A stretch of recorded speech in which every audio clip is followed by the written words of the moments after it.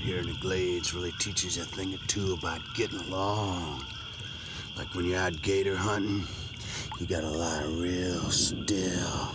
So when they come swimming by, you can jump on them, take your knife, run it down their belly, and skin them. Just like I'm ready for you boys in the WWF. I'm ready to skin you alive.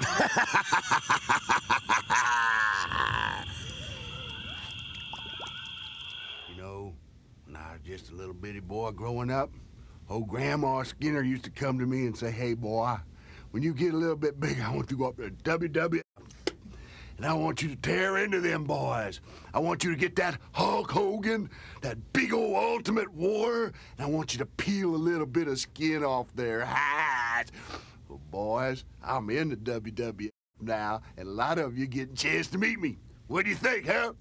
I'm ready for something, something really big. And I got my sights on maybe 10 different boys, and 10 different boys are gonna lose their hide.